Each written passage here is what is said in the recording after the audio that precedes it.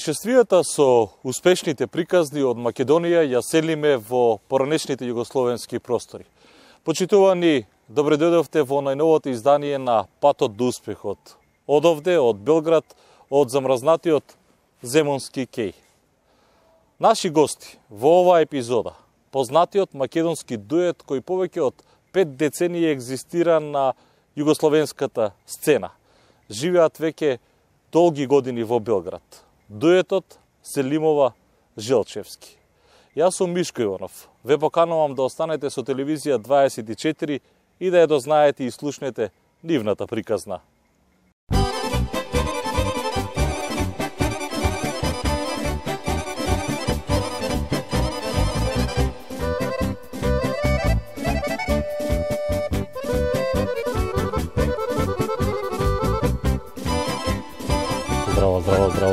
Со дамата. Добар Како сте? ден, добро. Драго ми е што прифативте да видите делот Патот до успехот.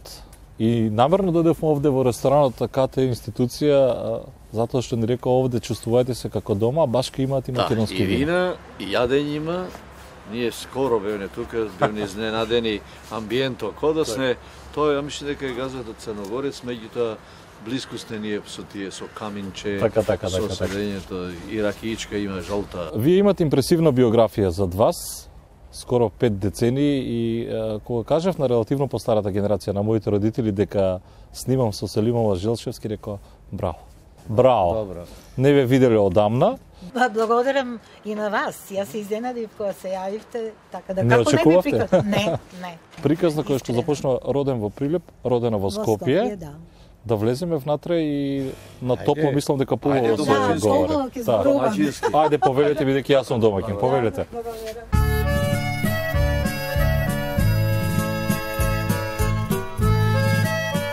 Кевсер Селимова е родена во Скопје во 1945 година. По националноста е турчинка. Иначе сум, како што рековте, родена во Скопје. Каде во- израснавте, господи Во Селимова? аутокоманда. Значи Маđари, после Маđари е аутокоманда. А сега се нормално нови згради, иначе тоа беа ниски згради за време на ратот. Оти јас сум посератно дете. Направиле ниски згради, така ко во касарна живеевме. Али сите се познававме, сите се знаевме и си живеевме со комшиите. Едина, едина фамилија во тој дел, значи аутокоманда, во тие згради бевме, нашата фамилија беше турци. Иначе све околу нас. Цела зграда Маке- беа турци? Или не, само вие бевте нашата единствена фамилија. фамилија? Само нашата фамилија беше бевме турци, а ова све околу нас македонци нормално. Како ве така да и мојот јазик сега оти татко ми не, дозволи да одиме оти имавме ние школо кое се уште е тамо Стив Наумов во Така, аутокоманда. е студентскиот дом сега. Да. Веројатно, е, да. Е, да. Така да мислам, мојот татко не сакаше да ја и мојот брат, ние бевме најмали, иначе шест, шест деца бевме. Три женски и три машки. Да одиме, да патуваме со автобус, да одиме на школа. Така да бевме во Стив Наумов, а тамо немаше на турски да се учи. Така да едино ја и братот Значи, посетувавме македонска школа. Дома зборувавте турски? Турски, нормално, нормално. Али што турски? Најмалку бевме дома. Повеќе бевме надвор. Знаете, оние згради, поляна, поляна после нашите згради тамо и со децата си се игравме, затоа велам, повеќе бевме надвор него внатре, така да што комуникација имавме ние со родителите, мислим, сосема други времиња Така, и така, така. со родителите да успоставиш некој контакт, за разлика сега со децата комуницираш, учиш и што ја знам, ги советуваш и така. Така. Ајде малку со посилниот пол. Ајде. Прилепченец. Ѓорги Желчевски е роден во Прилеп во 1938 година. За разлика од Селимова, господин Желчевски, вие сте родени практично пред Втората светска војна, пред да почне виорот на светската војна. 38 38 ако не се лажам. да, пред, пред тоа беше.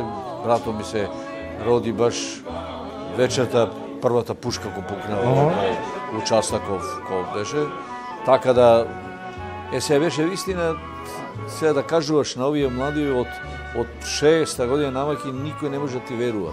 Меѓутоа не сне каснале, ние немаме бело лепче да видиме до 50 која година. Што јадете? А па царевничка, Царевничка, маревничка, немаше ли на на точки даваја точки имаше да земиш брашно ти да. На точки имаше кошула да земиш, на точку е, крпа за, за, за бришење, да си кој ти се одмие, немаше ништо. Одело не можеш да купиш никаде. Така. Одело ти доиш точкици кои Одело има војската, полицијата, службеници така, иначе не.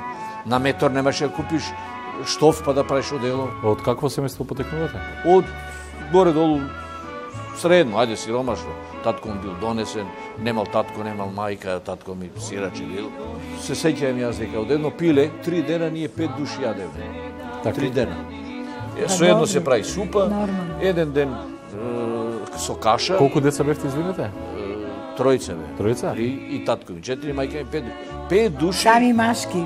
една супа направено, со резанца направено, малце моркови тие ставено, значи три дена супа имаш стално. На маса имаш сиренце и тоа. И првиот ден каша, ај мака спре. Вториот ден ори става правеше мајка ми. И третиот ден компирно. Значи три дена со едно пиле. И то сити, јадење би весели. Вие од какво семејство потекнувате, господин Селиво? Па, како да ви кажам, па сиромашно. Тие периоди, Многу да. деца, татко ми бе, беше најстар, има, беше таткото мој во новини, најстар киноапаратер во биоскоп Вардар.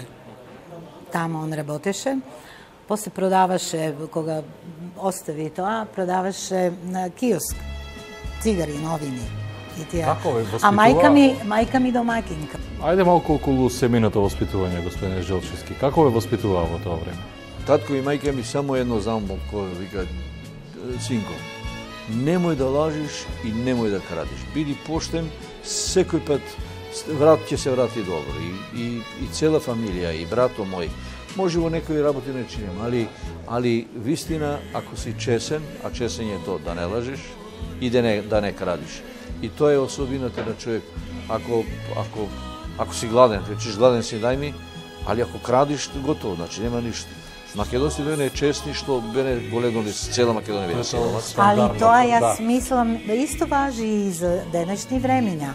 Кој родител го воспитава детето контра на ова што зборува? ги размазуваат и затоа имаме ова, Точно, ни се случува ова што точно, се али мисла, али мислата е иста, да биде поштен, да биде, мада сега викаат да поштен ако си, мислим не можеш многу да просперираш.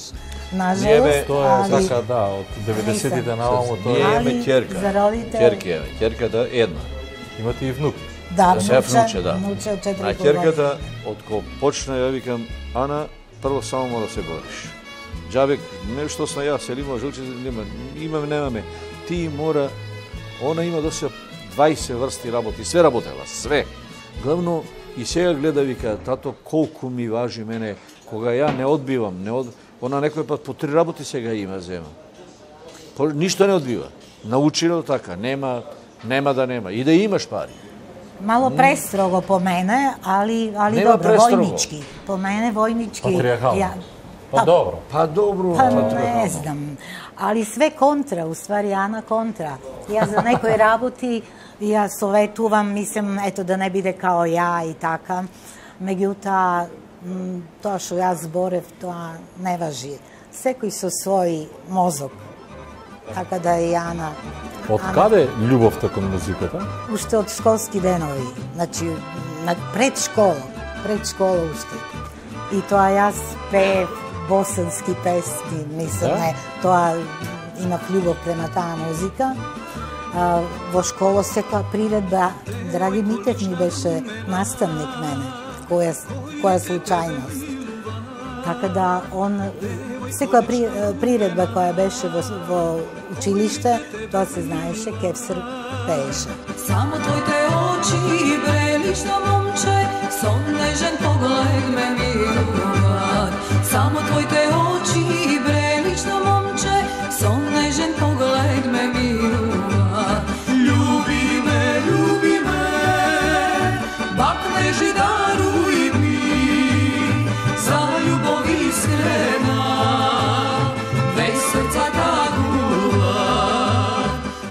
дали имавте некој во фамилијата кој што пеел претходно? Од каде љубовта кон музиката? Таткото мој супер пееше. Он, иначе Бекрија, мојот татко, со Пајтон на Сабајле се враќал од од пијачка. Братот, да? братот пееше, Да, пееше, свиреше. така да он, негова песна беше Ала и смо се састали бечари, па ни еден за куќу не мари. Али до, носеше, мислам, тоа се сеќавам, носеше дрва. Магаре ке се закачи за пајтонот и дрва носи дома. Значи да ни биде топло, да има за јадење колку толку. Не бевме ни гладни, ни жедни. И та, затоа велам, он, он ми ја усади тоа, валја, а предпоставувам дека и природно, едноставно, музикален се и родиш. Така е. И после до, надоградуваш сето тоа, така да после, кога се определив за музика, јас тоа ми остана ево и ден денес. Исто и кај вас? Имате некоја нишка, некој музичар Добро, татко ми беше, да, татко ми беше е, водеч на плех музиката во свиреше в е, труба горна и најверојатниот добро, Македонија немој за Па филозофија да бараш, али кој е не македонец? Тој е најмузикална Тој е југ, југ е, така и наполитанци, сицилијанци, андалузинци, сите кои кои нема многу богатство, сите се надарени со песна. Кажете ми, основно средно завршувате во... во Јас јас во Скопје завршив во Прилеп, Во Прилеп? завршив во шести клас бев и во четврти клас бев имаше залепено плакати аудиција за, за прво за музичко школо. Сам ја отидов, ме примија, свире виолина, завршив виолина с нижа музичка школа, напоредно со школата оди. Од шести клас отидов во Скопје, завршив средна медицинска лаборант и санитарни техничар, санитарни инспектор. Бев едно два месеца инспектор, не може да казнувам. И Како не можам да ја А замислам нема, како инспектор? Sad ама бе во Прилеп, во Прилеп бе. А во Прилеп сите ме зна. Доеш кај сладкарница вика, "Јој, јуче, дој, шо ќе, ајде баклави, како ќе јадиме?" Викам, "Чека да идеш, вика." Абе све е добро, дај.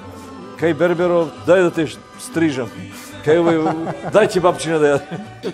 Така да ви не, не можеш да оказниш, не, сите те знаат, сите те во мало место, поготово Прилеп, Прилеп е страшно. Кога ви е првиот настап и музички, е, нормално, на А, пење? пошто Јолина свирев, еднаш имаше торе работни акции во Жван, Брод, оне, Рек, се градеше централата. Рек Битола? Рек Битола. Ја тога имав оркестар таму, свира виолина. И една, еден ден, во сабота, во недела е приредбата, во сабота, тоа момчето што пееше со девојчето, нешто татко му болен, отиде. И се ќе пропадни. И се викам, нема, ќе пее девојчето само, после дует, заедно ќе пееме. Јас ги пеев.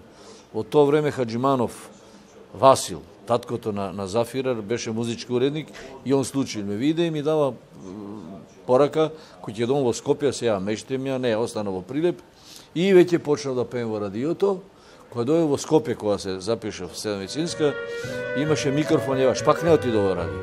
На микрофонот ваш, народна, за народна јас победив, а во забавна Драган Стојниш. А побед... Аха. Победив. Каква И како генерација. победник имаш право Која песна е да пеевте, морам да прашам? А? Која песна е пеевте? До три ми пушки пукнаја, до три юнака паднаја. Вие практично тогаш победувате со оваа песна, така? Со да, да. И како победник имаш право да снимиш нешто за радио Скопје. Аха. И кога ти во радио Скопје, ме гледа Хаджимано и вика, чекай бе, ти да не си она детето во таму, вика, јас. Зашто не си ми се јавил, викам, абе, терам, да, да, да, да. Ајде да видиме и почнав јас и за една за две години снимав преку 60-70 песни. За радио 60-70 Скопје, песни. да. А пее шеста, да, Шеста. песни. Ќе ве прашувам подоцна за македонско радио, бидејќи ме, ме интересира дали е вистина дека одевте во Пет Савајле да пеете. Предходно, господја Селимова, вие бевте игроор, ако не се лажам. Не, Или- во Орце Николов бев, Николов? бев во Орце Николов, али само пеев. Не играм. А пеевте? Да, Ја мислев да. игрорка. Вие Не, пеевте во не. културно-уметничко Да, ансамбл практично. е. Да, да, Орци Николов, кој Аха. постои се уште. Вие кога прв пат практично почнувате со со, со песната? Со песната, овака, Официјална е, условно кажано. па со Ѓорги. Заедно? Да, со Не, не, Ѓорги. не, не, не. Пред тоа она пееше Низамовски беше менаџер од Ладо Тасевски А, што да. и правеше А, да, турнеи, јо. она пееше е, ориенталски. Па добро, сад да, се да, подсетуваме а, тука. Да, а, пеев турски, тога и пеев турски песни. И како Значи, таква ја е познат, да. Да. А, одев јас на, на пат, на турнеја, одев Кирил Ман- Манчевски, покојни беше, Анка Гиева, Да. тоа беше група која одевме по Југославија. Ви сте нали дека влегувавте во 5 саат са на македонско радио и и пеевте. Не, не Вие, знам кој кажува, не, не. Илиева. Тога и во тоа време беше службени оркестар, си имаше проба понеделник, вторник, во среда е снимањето. Добро? Понео снимањето во радио не може пред 10 сатот 11 не беше снимање. И една-две песни снимаше. Немаше плейбеци, него трв, Во живо. Да, све оживо, све оживо. Микрофон за све се даде. Ако некој греши од, од музичарите се враќа. Ако пеач греши, цел оркестар. Така да мораше вистина да, да пазиш многу, да, да не можеш да ти качи глас, ако дистонираш, не можеш да пееш. Затоа во тоа време или си прав пеач, или не можеш ништо да направиш. Немаше тие техники Да, сега. сега е многу лесно тоа е, за Сега може да стане пеач, Сега е- може да стане пеач Да, на компјутер. Техниката е отиде на напред. И затоа тоа имаше малце, многу малце пеачи. По друштво, мораше од друштво, во друштвото беа професионални музичари, корепетитори ги учат како се дикција, како се изговара, како се издржува. Еден му беше на Бадев дозволено, Да, иначе правилно песе Збогу мајко треба, он збо, збогу ма клизанда правеше дозволен. Иначе во таа музика, во народна музика немало клизанда. И затоа била чиста, чиста македонска музика. Или што знам, зајди, зајди. Зајди, зајди, јасно сонце, зајди помрачи се. Македонска песма е чудо. Така е поставена логички, Вие доаѓате порано во Белград, пред земјот тресот? Не, ја обично, обично а, имаше заеднички концерт во Дом на синдикатите. Тоа беше светилиштето. Тука доаѓаш секој пат концерт имаш еден србин, еден македонец, еден босанец, еден хрват и така. И обично доаѓа Сариевски Бадев. Не знам како дошло како млад пеач, под најмлад, мене ме пушти еднаш во Дом на синдикатите.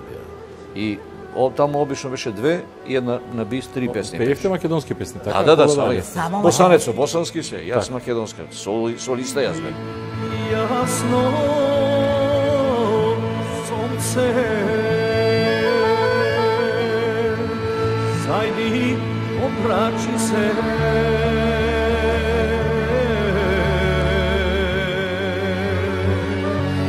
И ти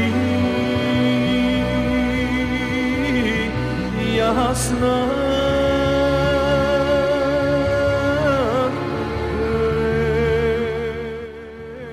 Со текот на времето, нивната популярност растела, но Македонија станала претесна за нивните амбиции.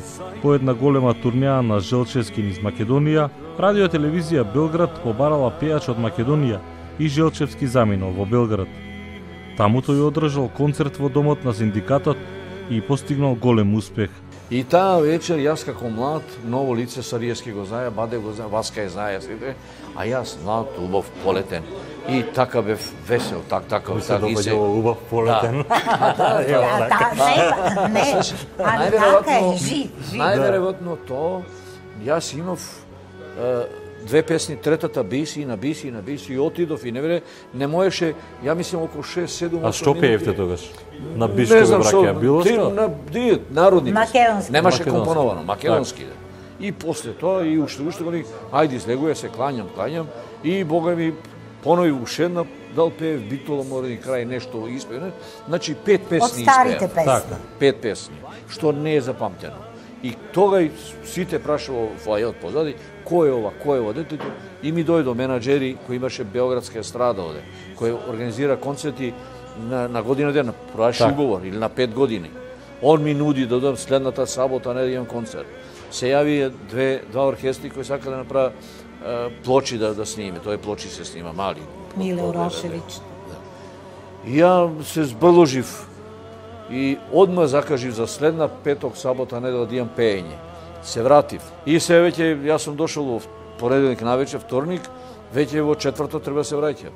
И ми предложија да земам стан да си земам тука, да може, пошто имам аранжман за цела година, секој петок, сабота. Настапи. Настапи, да. Тоа беше турнеи се праја со пејачи од сите републики. Не као сега сам ќе пееш, не, не, не, не. Си има Сариевски, овај е, Сафе Тисови, четири песни, јас четири песни, е, Вера Слобода Хрватски, так, така беше. И таа група, два сати, трој и гот. И Е, така- тога- така ја дојдов. Аха. И веќе одма почнав да снимам за Радио Белград ми понудија да снимам песни. Вие снимавте плоча за ПГП, ако не се лажам. Да, Да, да, да, да, да. сме Аха. ексклузивци. Е, не- сега. Нивни долго, ал прво за Југотон снимавме. Право за југотон. И така, а, како в а, Да. полетен, Полетен, и а, весел, доаѓа да. госпоѓа Селимова. Во тоа време Жилчевски настапувал заедно со Никола Бадев, Анка Гиева и Верица Исјановска. За време на една голема турнеја, Исјановска се влюбила и решила да остане во Шабац, така што Жилчевски морал да бара друга партнерка за пеење во дует. Разговарајќи со својот менаџер, тој се сетил на средбата со Селимова, која во 1961 година му се придружила, пеејќи во дует со него. по повод прослава на, на Републиката и Тито доаѓаше. И Од секоја од секој крај на Југославија имаше групи. Со Тито сте имале средби? Да, да, да, да. да. Пеење ме секаде. И на Бриони, и во Херцег Нови, и тука за водене. А, доаѓаме Орце Николов, она пееше Орце Николов, а мене Радио Скопје ме ме зедува као као појачање Аха. и да водам конферанса. И ја отидовме таму и знам дека беше концерт на голема пољана горе на партизански води и пееше она. Како се пее, викам Селимова. Ме ќе- најавува да. он. Вика, како се викаш, да. девојче, као? А, така ви вика? Па, Да, на- па, Па да, мислам. да, да. И ја викам, ја Кевсер Селимова, И она што ќе Наџије, Наџије, вамо, и да. така. И се вративме. После ја отидов на турнеја низ, низ Југославија, долга турнеја, на Коджобашије, на Коджобашије Јанета, сестрата него пееше. Беше Сариевски, беше Бадев, Анка. а, Анка Гиева, она и јас. И одеднаш во Шабац концертот завршува и некој од публиката ја, ја да, да, и се намигнува у домо, се и он утредента вика, она останува овде кај е жена. заљубил човекот. Ја женам и она не одида. И она вика јас остана овде. Чекај бре да завршиме турнеја. Не. И ја на менеджерот викам едино викам за замена некој нека оди ние ќе остане да три дена во Шабац, нека најде едно девојче многу убаво пее, убаво изгледа, знам дека во театарот работи, во школата е Кевсер Селимова. И он отиде, отиде дома, направи некој не е пуштале, ја пуштили и дојде. И тогај секој си пее на концертите, секој сам, Бадев, ја, и после правене дуети. И тука направене дуети, ја и Кесер. Која песна ја пеевте? Калјо Не. Калино, пошто оти и тоа ми е први. Калино, девојче, виши, виши, црни. И китен да. китен девере, мисли, тоа ни е китен И прва плоча ни е тоа за И, југото. Е, тоа е почнане заедно и, и почна... Тога се, тога се запознавате. Да. На вас трова не ви пуштаа да одите? Па не, да сака да... Не, па, ка, па како ќе ме пушти Јашар да одам јас на пат. Али менаџерот гарантираше за мене и така татко, таткото мој ме пушти и така јас тргнав. И така се створи дуето. А како се случи љубовта помеѓу вас? Е, па добро, тоа чини се заедно. Близина чини своје. Тоа е заедно секој, да, да, млади, ја, млада, Ми, она. знаете зашто прашам? Денес е, например, многу проблематично. Вие турчинка, вие македонец, да. не, А, не па знам. имат мене проблеми. Да? Па не. Па беше нормално. А, Чак овдека- излегуваше Фелтон за нас во вечер.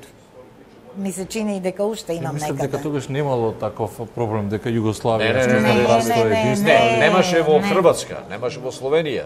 Немаше во Србија, во Белград Македонија, не. А Македонија беше, оти видиш овде кај јас после разнав. Неговите родители, моите родители, Реагира? беше тоа Па катастрофа. не, не, с- татко и мајка не ништо против, или незините, ама они имат, имат све, се викат Желче, од толку нашо Од толку турчинка да земи, или она вика турчин, од толку турци, нашла Каурин да земи, така беше. Злату в паметен. А, како им Добро, добро, после тоа, после, после се разви да Али цела Југославија време беше да мешана. Да, видиш, да, да, да, што вика да. историјата, после тоа многу бракови кои беа во Босна измеѓу бос, муслимани и ово се распаднаа. Баш во Хрватска, во Хрватска е иста ситуација. Неверојатно, ретко кој остана во маш- мешани бракови. Значи во нешто има Што искрено за мене е глупост. глупост. Во Америка е глупост. За мене е Во глупост. Енглеска е глупост. Особено ако постои љубов ради Срце. Да, Сите али- нови нови држави, тие, значи Аустралија, Канада, Америка, за таму не е про пошто се луѓе тие се многу многу нации. А Балкан е Балкан само само биле каури, православци и после кои останале кузне како и они турците од кај се тие не се биле тука дошли. Па да Така, тие така, 500 така. година некој останал. Некои се вратиле и така. После се легна на брашното. Си легна, ама требаше да помине време, охо-хо. Баѓи? Баја ги да. А во такви моменти ви влијаеше тоа на Не, не, на, не, на не. кариерата на Отко се зедоа, ние рекол не свадба правиме ја и Кесар. Татко и мој дол сака да дојдете, ние правиме, она вики дојдони и после после си. Сите дојдоа? Нормално. Така. И после чиме Свадба правевте овде во Белград или? Да, во Белград, Белград. во Белград. 78 А, овде правиме пауза и за она што е ваша богата музичка кариера, а, ќе го продолжиме муаветот за првиот албум овде во Белград и понатамо настапите во, во Македонија и она што уште по нашиве кафјани се пеат вашите песни. Љуби, љуби ме и Да, љуби така натаму. врати ми Браво, мама младоста. капини. и врати ми е младост. А еве што ќе следите во продолжениот патот до успехот. Во тие времења настапувавте пред Тито? Се сретнувавте, имавте средби? Па во почеток ние певене Јовано Јованке и Битола море со копие. Меѓутоа после кога се расипи со Јованка, ние направи сте може да пише само Јованка не да пееш. Мене ми беше малку Добро, чудно, така. али добро. Али добро. Останете со нас. Vrati mi sve Sve što imaš od mene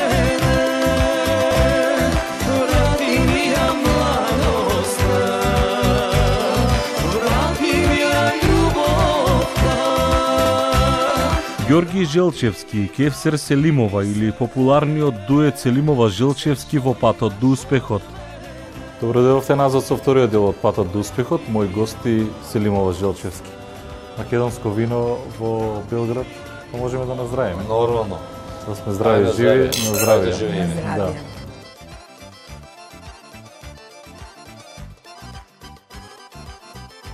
Да. Застанав некаде до заоѓањето во Белград. Првиот албум кога се случува? Заеднички. Првиот недел 63 година, не албум, тоа беа само две или четири песни. четири мали, песни. мали, мали Сингалици. беа, сингелички, да бе.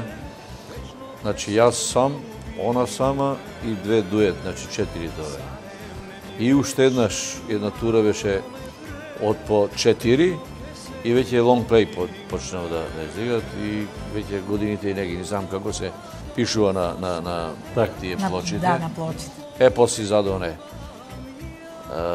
со оркестрот на Душко Радети, со оркестрот на Радио Скопје, со Кочо Петровски еден, седе со, со колку бе, 6-6-12 песни. Со Джоко Димчевски И така, со Джоко Димчевски покојниот. и Октетот. Македонија имаме баш еден. почнаме. Таа е Брала Мома Капини со Октет од Македонија или подосна е таа на фестивал Брала Мома Капини?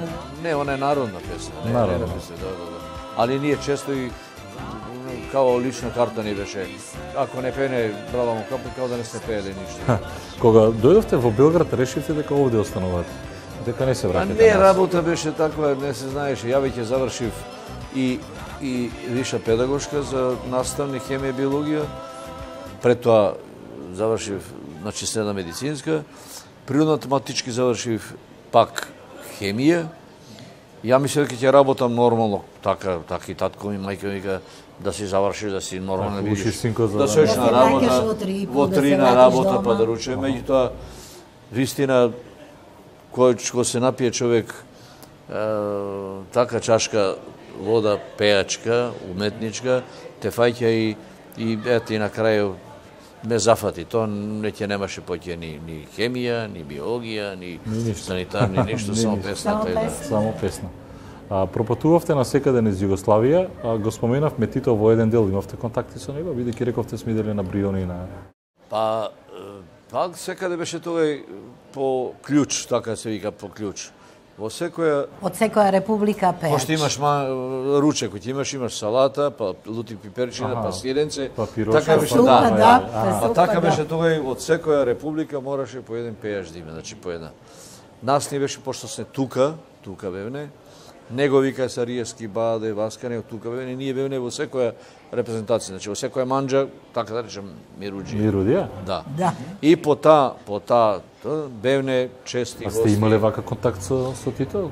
Па контакт. Знаеш, обично тоа он седи, седи таму, ако е ручек, свечен ручек, он седи со гостите, ние пред него пееме. Не комуникација, него едноставно пееш три, четири, пет аплодира. песни, аплодира, он не сакаше многу. Која песна му беше омилена македонска? Па во почеток ние пеене Јовано Јованке и Битола море со копие. Меѓутоа после кога се расипи со Јованка, ние направи вика, сте може да пееш само Јованка не да пее. Мене ми беше малку Добро, чудно, така. али добро. Али добро. Добро, вие дома пеете? По дома вака. Само кога цело вежба. Време. Само Па само кога кога се нови песебе. Иначе вистина немаш јас физичко. Мене секој пат да сум некој швалер, ќе ме фата одма, како одам на половина километар се виде дека дека Дека доаѓа. Стално сум јас со со, со свирка, со музика, да. Добро како сите македонци. Ја мислам дека нема нема валјда е таа душа, таа и то поднебје, таа вода, то сонце ме правило да сме врзани дење ноќе со музика, и ден денеска, и млади, и стари, и И го насеќевте ли распадот на Југославија? Не, Не? јас не.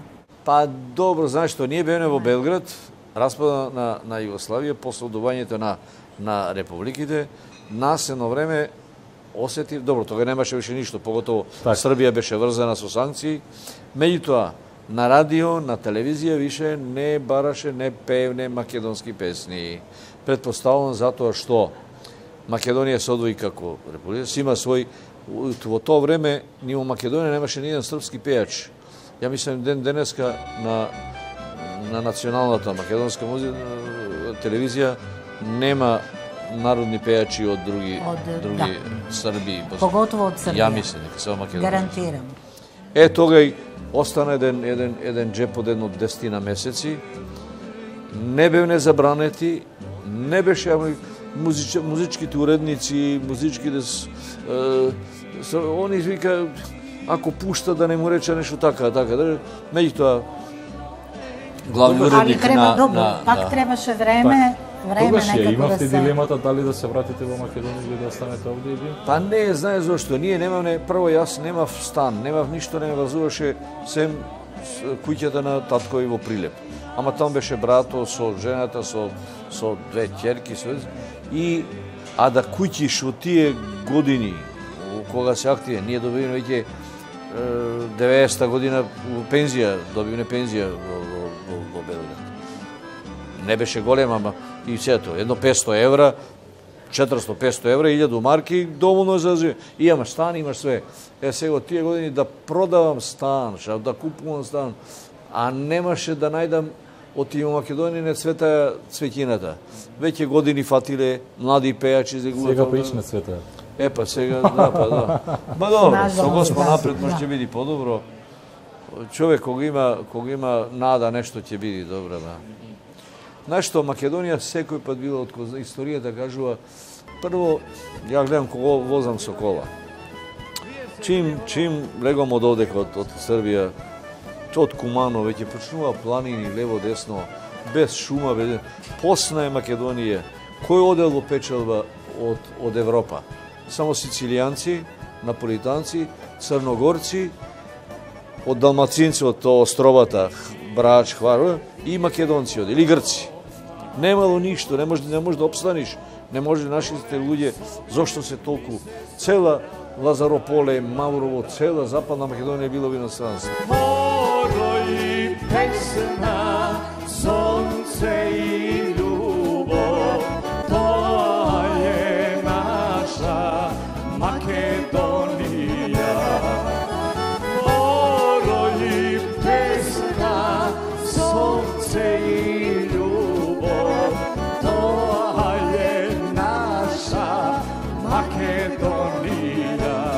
доаѓавте често во Македонија на Да. Андал. Сега малку тука се случуваат а, тие а, големите хитови или тие се веќе крајот на Југославија практично. Врати ми ја младоста, љуби, љуби ме. Тоа е Не, не, не, не, Не, не, не, уште не, не, уште беше. 86-та е, Да. 86-та брати ми тоа, младоста, да. неа ми либе да дојди. Да. Люби, значи тие се прво, второ, трето, ние Сакам да, да кажам, во 90-тите како се раздвоја државите и како со нож да се пресече она што е Да. квалитетна музика. Нажалост, да. Македонскиот фолк речи си и да го снема. да. Она што се појавува на а, сцена е Ништо, нешто. или полупеач или пеач, Истата ситуација, исклучоци. видиш, истата ситуација, едино Хрватска се држи, он има тамбурашки многу оркестри. Тој беше музички уредник кој илјаду барал преку владата, илјаду тамбури да се купат за цела. И во секој град пуштил да има сега тие оркестри, а тамбурашите не може, нема нема бит, нема мит, тука мора такви такви песни загорски, Да, славонски, да да. биде. Они останава. Е, сега Македонија со, со мала земја, со многу композитори, ојдовци, мојдовци. Во Македонија нема кој не компонува, нема кој не пее, не за свирење. Ја на сите кај одам во Хрватска викам немам во Македонија музичар кој не е завршил академија сега. И тоа е тврдам Сите дека вистина. музички Нема без образовани. без без значи најдобри басисти, оргулја, све значи музички наобразовани. Генерално со кој соработувавте од нашиве композитори и автори?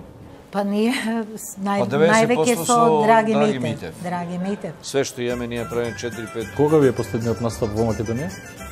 Да, сеќавате? а, пред прошла година имавме солистички концерт во дом. А, да. За- Дом на војската. Да, Мисле 50 години фестивалски, тоа ви беше 50 години славење. Е, Да, Јубилеј, да, е, тоа тоа се сеќавам. Мислев на официјален настап на фестивал некој. Па фестивалот после после песната Марија Марија, Дуетот Селимова Желчевски е најпознат по нивната изведба на народни песни. Елено Керко, Бело лице љубам јас, Врати ми се љубиме, Брала му макапини и така натаму.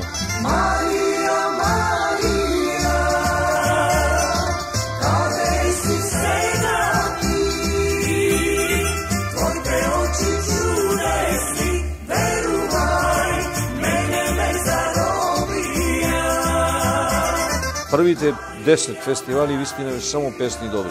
Тука е Пепи Баптировски, Гоце Николовски, Да, тоа се тие тога беа или Златни времења. Да. Публиката да беше реална, немаше купување гласови ништо. После почна почна купиш, од се знаеш унапред, уште не си дојден, знаеш кој ќе победи. Правилно, од цел свет е, ако некоја песна ја правиш, се спремаш, значи се влегуваш со свар, ако, таа та песна не тргни, не влези во, во ушите на луѓето, ако не пееш, не да тој ништо не си направил. Само продук, репродукција, репродукција празна и вистина. Ја сватив тоа и викам ке се она вика Ѓоко нема сега млади пејачи има, не ни стои нас со младите да се тат. Али е, три години не викаат као као гости сме на Валандово. Добро, рекоа не да не пееме, не се такмичиме. Не се такмичиме, али, да. али као гости. за такмичарски не. А добро, престанавме, престанавме да се инаку, такмичиме. снимате уште или? Да, да, да, да, да. Па до пред две години то сега више не вреди од тие да снимиш во времето си порано. Имаше некој ред. Композиторот не добиваше никакви пари и текстописец. Него се продаваја, се емитира и он си добиваше као авторски авторска и од тога живеат тие. Нема денес Барбаровски. ништо тоа, ниту А, ниту ништо Не. нема. Зато сега бара тој што ти е компонент, дај ми ти мене 5000 евра, 7000, 10 зависи колку и ти работиш што сакаш со мене. Како реагиравте на појавата на шундот, на кичот, на турбофолкот? Па тешко нас ни паѓаше тешко на нормални луѓе кои пееа нормално. Ти Ја, ја сега мора да се мачам кој знае колку не можам да испеам ни една песма модерна песна. Не може, мора грлото да се наместиш за за тоа. Ама не може да го тој е компјутер, не не, може, можете да го да. правите. Па не, али по, после треба да пееш. Народната, традиционална македонска музика бара хајди, море, море со гојли, што е. А ова не хуџу, хуџу, jer нема нема ништо, само ритам. Зато и постојат сега дискотеки. Тупано- Значи, само песни за дискотека. Тупано и басови, се разбира. праени. По 3-4 илјади вати има има звучници кои само басови. И само тоа слушаш бум, бум. Така. А бидејќи останавте во Белград, уште ова сакам да го прашам. Како го живеевте времето на Милошевиќ, тога со пензиите се Па бевте, бевте Да, едно сак... време бевме, да, Да? за јогурт, пензијата. одевме баш се сеќавам Па за не, така. Македонија и онда пензијата Добро, имаше кроз со господа ја си Имаше уштедевина, уштедевина, да, поменуваш наравно. марки, па инфлација Ние кој е сме така. народ кој се снаоѓаме. Тоа секако, да. Тогаш имавте проблеми онака на Не, не, не, не, не, не, никој пат не сме према нас, никој не бил. Мене ми е жало да поите на Скадарлија, од тоа еден крај кај што се нема нема а ти има многу ресторани, три шешири, два Јелена, Има дана, да, златно да, да, да. има. Али тоа се останато од таа Југославија. Да, али нема нема на една вечер, ниедна музика да не пројди еден-два блока македонски. Не постои, така, не така, постои. Така. Има и Значи, гости доста. луѓето си сакаат Баш сега така. скоро бевме со пријател и од Македонија групи доваѓаат и нормално автоматски чим оркестрот ќе чуе македонска зборат музика е македонски, сакана секаде. одма македонска музика е сакана Денес често дојдете во. Македонија? Знаете често дојдете денес во Македонија или Да, поретко? па поре, све поредко. Па кој ќе одам на скијање, кој ќе одам во Охрид, кој ќе одам ке брата некој слава. Зошто и се трошковите, дал возиш брзо, дал не возиш брзо, ми треба 10 сати да појдиш, да даеш 300 евра, 400 евра, патот. А керката доаѓа во Македонија, ја сака и Па не работи, Да, сака. да, да, да, да, да, да, да. И сите не прешуваат, она изборува македонски. Стварно? Ако е родена во Белград, да, да, да. така А да внукот и него му зборувате македонски? Јас само Е, македонски. Ѓорги, Ѓорги Мождонов. Кај мене од се родина ќерката, значи пред 36 години до денешниот ден, јас со незе немам муабет направено на друг, јас само македонски. Она Она ми враќа на српски, да. А Ѓорги македонски. Со внукот со Ерола исто. Викам, ме разбираш, те разбирам. Ај врати ми, не, он ми враќа на да, српски. не зборува, Али али- јас све Важно значи го не сум разбира, не сум зборнал ја ни дома никаде само македонски, македонски. Зато така ми И е. измеѓу а, конверзација измеѓу мене и Ѓорги е македонски. И кога сме во друштво, некој пат Јас вика, таму, да. а ние и дома си зборуваме македонски нормално. Као и што и ден денеска пееме само македонска музика. Која песна е некоја која што онака на срце ви си има за- залепена да ве враќам Па сега? нема ми либе, не, еден- не, нема ми либе. На сон ми иде, сонот ми вели, нема ми либе. Тоа е најљубавна наша песна. Да, Беше, тоа Драге Митев ја направи во Истра. Оти ние работевме 20 години во Море Истра. така, тоа со Бегин фолклорна беше- група Опанак од Ви Белград. недостасува тие времења ностални, сум. Не, ја- слушам некој вика дека не се, али јас така ќе си Не умрам. затоа што иако се распадна, сепак осудени сме на меѓусебно да се работуваме. Нормално. Види, сега, нормално. сега младиве, младиве може да пеат, да свират како е. Меѓутоа, меѓутоа, пошто сум целата ситуација бев, значи, наобразуван а, во Македонија, Македонија живееше од, од, од тоа заедничкото. Во секој град имаше 4, 5, 6 фабрики, во секој. Од Тетово, од, од Демирхисар, од Битол, од Прилеп, од Охрид. Значи, тоа живееше, сите има се, сите доаѓаа, сите одеа. Сега не може сите мали, никој ништо не чуе, поготово Македонија. Сите фабрики се затворија на жал, на жал, не остана само песната и, и маката. Пак да пееме за Песна игра и тамури Срце ќе ти развесели Тешки маки заборави. И да нови среќни денови. Песна игра и тамури Срце ке ти развесели Морам да ве прашам околу изместениот систем на вредности. Тоа од денес е рак рана на секое општество, не само во Србија, туку и во Македонија. Комплетно е се А изместено. ова е век, век, чуден век. На техника, вистина, да не... Прво, немаш нормално да јадиш, немаш нормално немаш нормално овошка, немаш нормално зеленчук. Немаш ништо нормално. Ни домато, ни ништо нема ново, вистина. ск- Скоро Не ние сме песна. ненормални Да, веќе. не веќе ни пилето пиле. Пиле некој пат трчало, тркало, сега чоро е тоа. Затворен во инкубатор, го зема, го колиш, го јадиш, значи, од јадењето, од музиката, од патувањето. Ама заборавивме да се почитуваме ги се. А, нажалост. Па нема Не говорам овде на националистичка Да, да, да, да. Не, Не, ама не. Партиите, тоа е, мислам дека и во Србија и во Македонија, колку партиите го... секаде, секаде. Видиш, че имаш сега овој телефонов со, со, со интернетот. Немаш, ја доаѓам во Пилип, ние сме 8 души, не правиме обед ништо, сите Него секој. нешто. Го прашаш што гледа, не знаеш што гледа.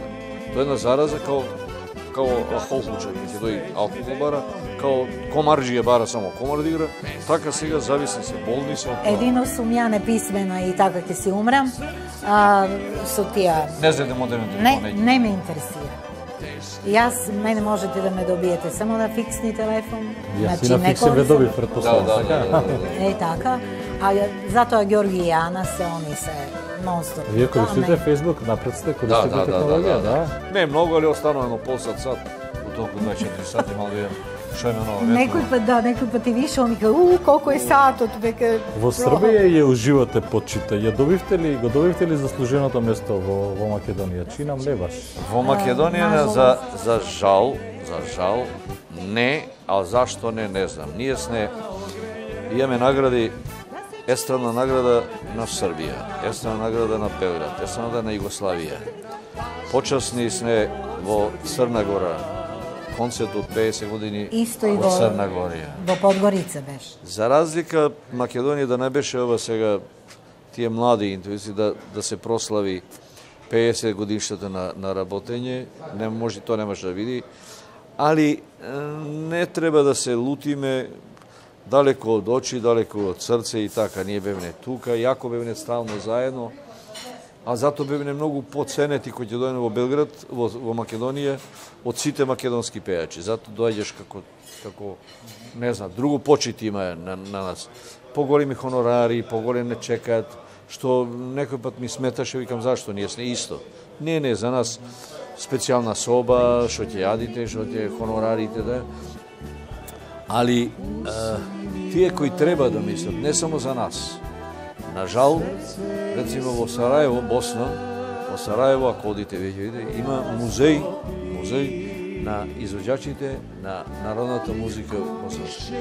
Музеј на Сафет Исович, не, сите имаат со микрофони, сите плочи, но облеката, носите, микрофоните што се пеат, тоа стои за веќе Вие, веќе. ние сме сега со музеите до Античка Македонија, така што... Да, ќе видите. Ќе- па да, валјда ќе доживееме. Во 2013 година Селимова и Желшевски одржуваат концерт во домот на Арама во Скопје, со која го одбележуваат јубилеот пет децени и творештво. Станој го сонам, станој го мислам, од пуста љубов ме заспива. На сон ми иде, сонот ми вели, нема ми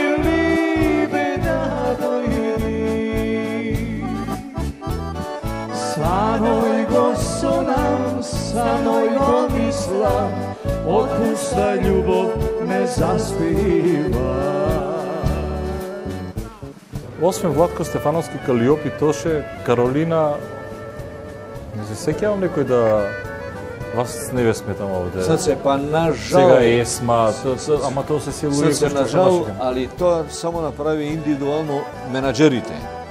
Набележите на, на Каролина Гочева, оти незините песни одека не се Каро, Каролин, Каролина ги пее старите македонски песни во некој модерен, тоа нешто. Добро, но знае ја, ја наполни Сава центар. Муабетот ми е дека Сега ние- во Белград- не можеме имаме квалитетни пејачи, не можеме да ги пробиеме во Србија за разлика од тоа што а, секаков српски пејач кој да дојде долу, па дури Да, и една да, Сораја, не знам ди што е, Да, па добро, знае да, да. наполни дискотека, што е страшно.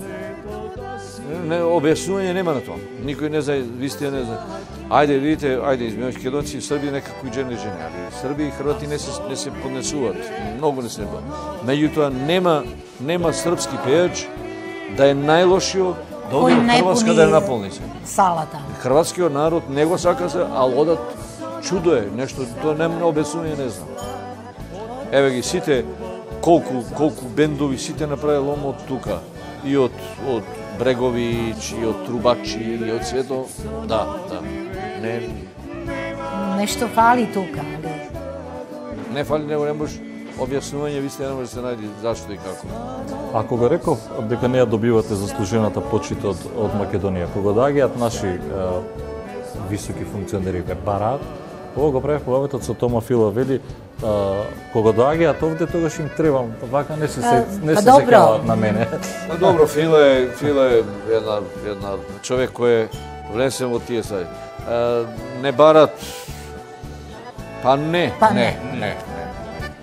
Не се движам, ја не се движам со политиката, не се, не сакам оди. Да, вие не се, не се лутите, но возможно ли е да е, македонската јавност не ве заборавила, но возможно ли е да да се заборави овој дует? Па време, време све чини, ако го заборавя Сариевски, Бадев, Кирил Манчевски, тој е еден Да. прекрасен пејач, дори беше за моje во историјата гласовно еден најдобрите пејачи беа Кирил Манчевски. Да. А никој више не го знае на жал, на жал. Е сега, со ова нова технологија, најверојатно ќе останат спомени. Ја викам на Кесар, многу пати викам, Кесар, бе, ние не мора да пееме, а нашите песни, кој знае уште колку, колку ќе перат генерации. Сега, многу. сега Тоа останува. Сега се YouTube и Мотоби то стои, а, а то се не се песна за една недела две, него него наши песни треба по 30 Песни со со трајна вредност. Отпуста љубов не заспива На сон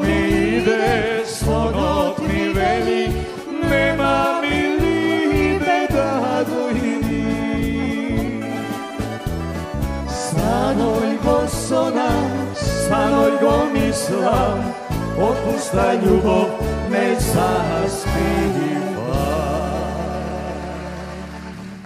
Ви благодарам што бевте дел од патот до успехот, што ја раскажавте вашата приказна, вие ја велите многу луѓе. Ја знаат, ама јас не сум баш сигурен дека ја знаат. Може би по старата генерација паметат до Да, во, во времето си, во поранешното време, за, пошто бене малце, малце пејачи, вистина све се знаеше, све пишува новинарите.